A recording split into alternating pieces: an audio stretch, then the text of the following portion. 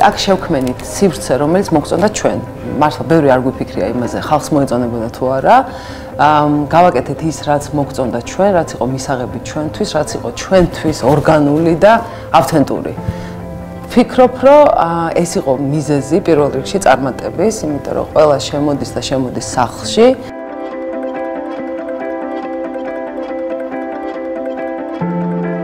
კერძებს ვცდილობთ, რომ იყოს კარგი ხარისხის ჩემი დევიზია არასდროს არ აჭამო და არასდროს არ მოექცე სტუმარს ისე როგორც შენ არ გინდა რომ მოგექცე სხვა რესტორანში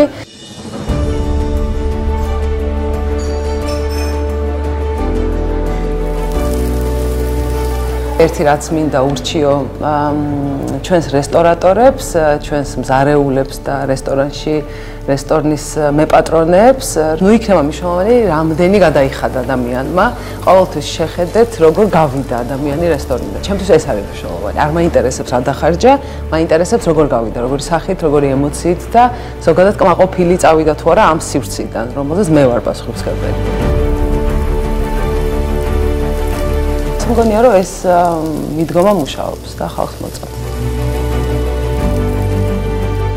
თქვენ ჩემთვის იყავით აი გულანთებული ენთუზიასტები, რომლებმაც დაიწყეს საქმე, რომელსაც არაფერი სარგებელი ასე არ შეიძლება და ქონოდა, ხო? გარდა იმისა, რომ სიკეთეს უკეთებდი სხვას.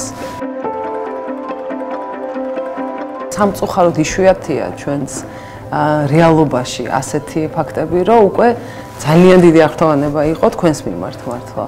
ამიტომ მომიდა მეც რაღაცა ჩემი პატარა წულილი შემეტანა და მე მგონია ეს არის ძალიან ბუნებრივი რეაქცია ყველა ადამიანის რა როცა ამას ხედავ როცა ფაქტიურად ზამზარეული თეფშზე დაგიდო ვიღაცამ მოგიტანა და ეხა შენც უნდა აიღო ან დადო რომ იგივე ეს ენთუზიაზმი რა სიკეთე ეს ყველაფერი გააზიარო ამის არაჩვეულებრივი შესაძლებლობა შექმნით თქვენ. მე მგონი რომ ყველა ასე იქცევა რა.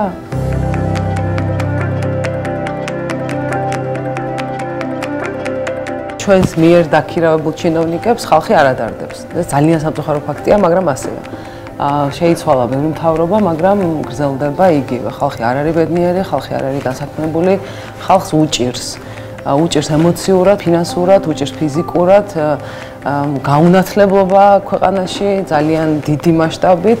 ამიტომ თქვენისთანა პატარა სიკეთის ესეთი ბუდეების არსებობა არის ძალიან მნიშვნელოვანი.